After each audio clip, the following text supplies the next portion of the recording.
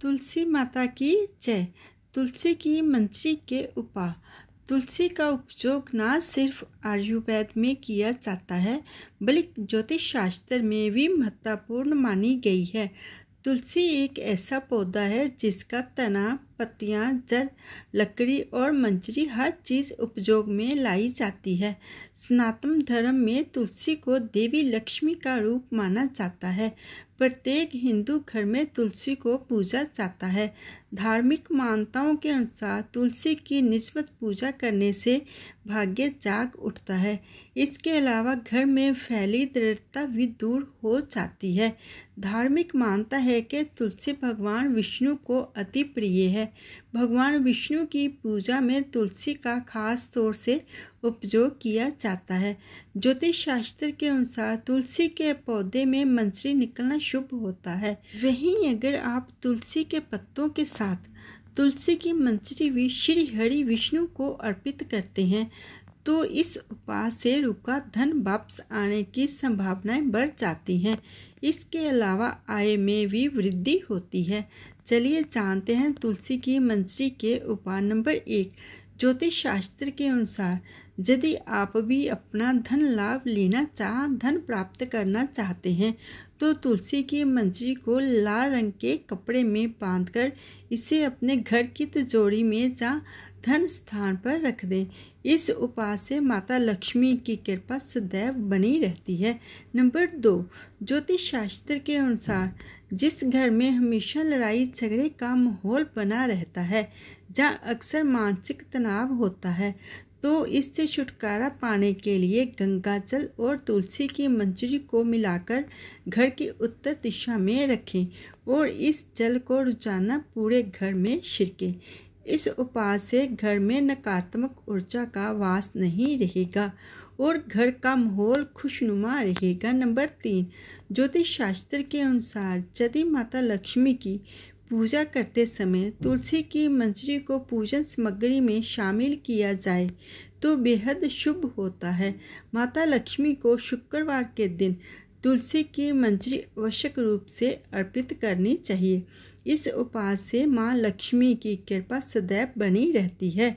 Number चार, अगर आपके विवाह में किसी तरह की कोई रुकावट आ रही है तो तुलसी की मंजरी को दूध में डालकर शिवलिंग पर अर्पित कर दें। कहा जाता है कि इस उपाय को करने से शादी में आ रही वादा दूर हो जाती है और शादी के जोग बनने लगते हैं। नंबर पाँच। गुरुवार के दिन भगवान विष्णु की पूजा अर्चना करने का विधान है और उनको तुलसी की मंजरी बेहद प्रिय है। गुरुवार को भगवान विष्णु के चरणों में तुलसी की मंजरी अर्पित करें। माना जाता है कि इस उपाय को करने से फंसा हुआ धन वापस मिलता है। नंबर अगर आप लंबे समय से धन की परेशानी का सामना कर रहे हैं तो ऐसे में घर की बालकोनी की उत्तर या पूर्व दिशा में तुलसी की मंजरी किसी पवित्र स्थान पर रखें। ऐसा करने से आपके घर में धन का कभी अभाव नहीं रहेगा। और धन के मार्ग सदैव खुले रहेंगे। नंबर सात, तुलसी की जड़ से लेकर उसके पत्ते और मंजरी तक ज्योतिष में बहुत लाभकारी और असरदार माने गए हैं। नंबर आठ, जब भी आपकी तुलसी में मंजरी आ जाए, तुरंत मंजरी तोड़ें, लेकिन उसे फेंकने की बजाय लाल कपड़े में लपेटकर मंदिर में रख दें। नंबर नौ तुलसी की मंजरी को स्नान के पानी में डालकर नहाएँ। ऐसा करने से वस्तु दोष दूर होता है और ग्रह दोष से भी मुक्ति मिल जाती है। साथ ही आप तुलसी की मंजरी को हमेशा पीने के पानी में भी डालकर रख सकते हैं। इससे नज़र दोष जहाँ पूरी नज़र नहीं लगती, नंबर दस। तुलसी की मंजरी को रोज़ाना संध्या के समय घी के दीपक में डालकर जलाएँ। ऐसा करने से घर की सारी नकारात्मकता दूर हो जाएगी। ये थे तुलसी की मंजरी के उपाय सनातन धर्म में तुलसी के पौधे को बेहद शुभ माना गया है।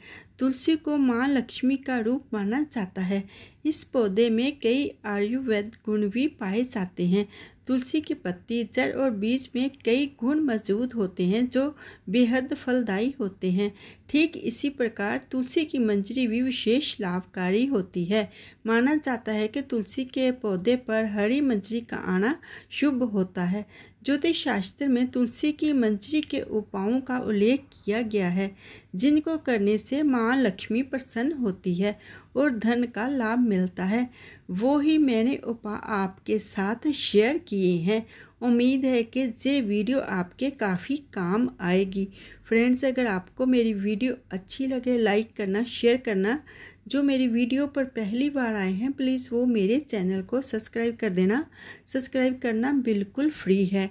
जिन्होंने सब्सक्राइब करके रखा, उनका दिल से धन्यवाद करती हूँ। तुलसी माता की कृपा सबके ऊपर बनी रहे। जय तुलसी माता की